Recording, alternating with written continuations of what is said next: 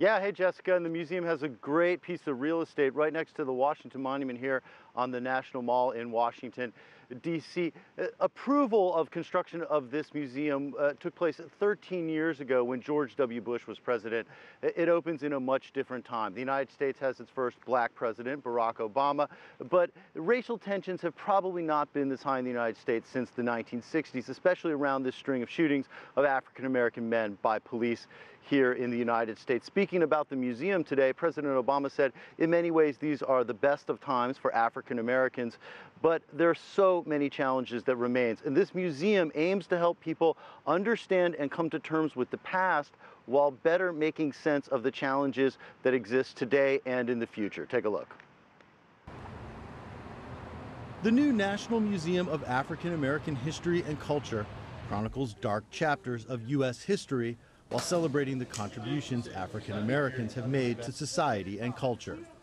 The mission of the museum is to make America better, to use African American history to help people understand the world they're living in, to give people a kind of safe space where they can both understand those moments that have been very difficult for America, but also understand the kind of joy and resiliency that has shaped this community and ultimately shaped this country. The museum charts the African American experience from the horrors of slavery to the struggles and triumphs of the civil rights movement.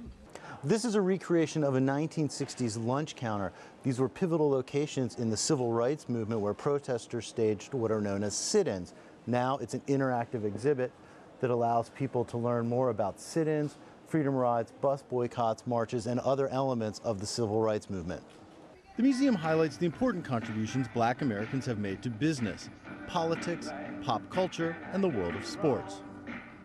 In the music gallery, Chuck Berry's Cadillac is parked alongside the Mothership, a stage prop from 1970s funk pioneers Parliament Funkadelic. Interactive exhibits track the rise of soul music and hip hop. Music is really an essential part of African American life in unique ways in this country. Um, not only as a cultural tradition as it is for any culture or a mode of human expression, but it's been a vehicle to communicate ideas, it's to be a vehicle for social protest, a vehicle to sustain people in times of trouble. Art, I love this stuff. The race and gender, it's important. Johnetta Elzie is a student activist who has protested in the Black Lives Matter movement. She traveled to Washington for a sneak preview of the museum.